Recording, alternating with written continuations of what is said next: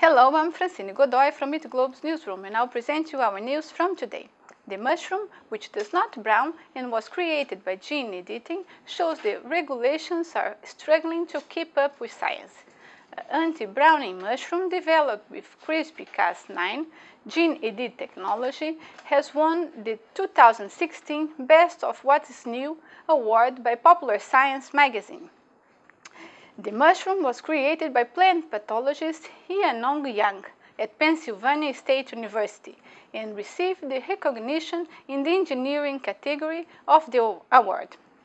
Yang's achievement consists of editing the gene of the white button mushroom, Agaricus bisporus, to prevent it from producing a specific enzyme that causes mushrooms to turn brown.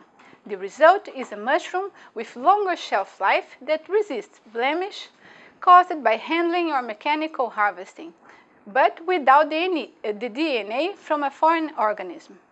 What is unique about Yang's experiment is that this mushroom is the first CRISPR-Cas9 gene-edited crop which requires no regulatory review by the United States Department of Agriculture.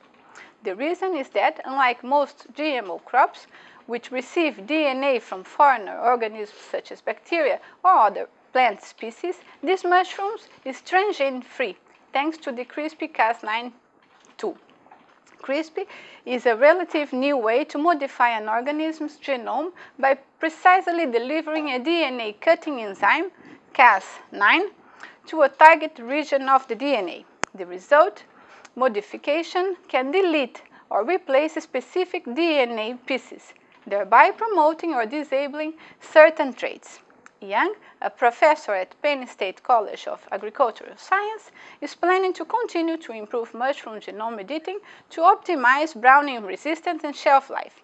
His next step would be sub submitting his project for review to Food and Drug Administration, the FDA, in order to be in the safe side before bringing the anti-browning mushroom to the market. Legally, however, such a FDA review is not required. That's all for today. Thanks for watching, and if you want to know more about our story, please visit our website.